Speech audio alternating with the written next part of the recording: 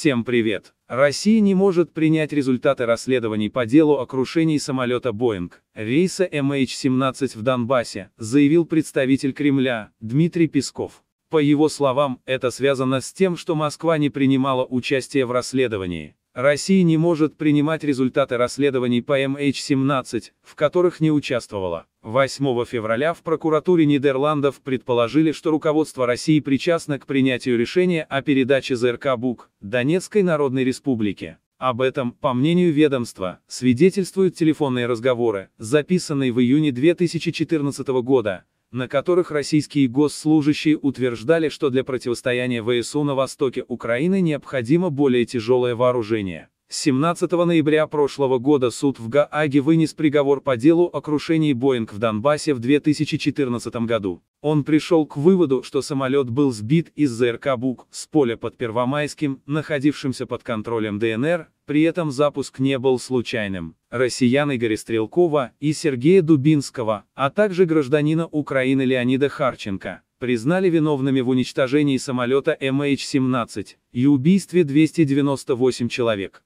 Их заочно приговорили к пожизненному заключению. Друзья, канал нуждается в вашем внимании, финансовая поддержка очень выручит нас. Реквизиты в описании. Ставьте лайки и подписывайтесь на канал. Всем пока!